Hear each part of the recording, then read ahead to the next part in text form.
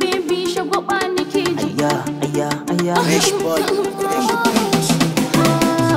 Ni dai, ni dai, ni dai ki bari in shagwaba. Hindai, hindai ki dai ina ƙara sinuwa.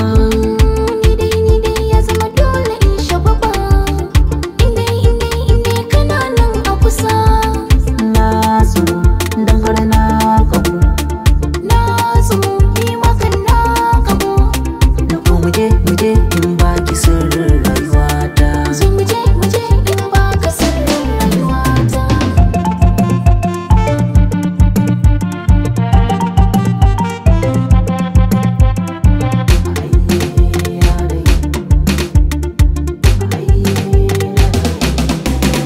sanni sanni ba ta hana zuwa.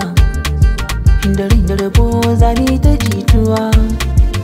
Ba a jikan mu idan yayi hadduwa.